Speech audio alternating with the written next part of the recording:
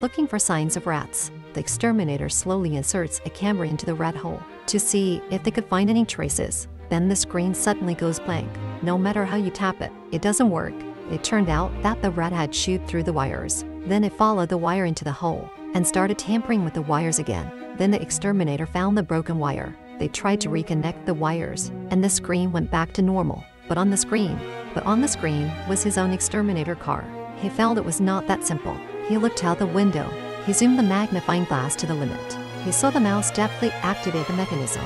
It turned out that the mouse had tied the camera to the cable in front of the car. That's great. The rodent exterminator was set up by the rats.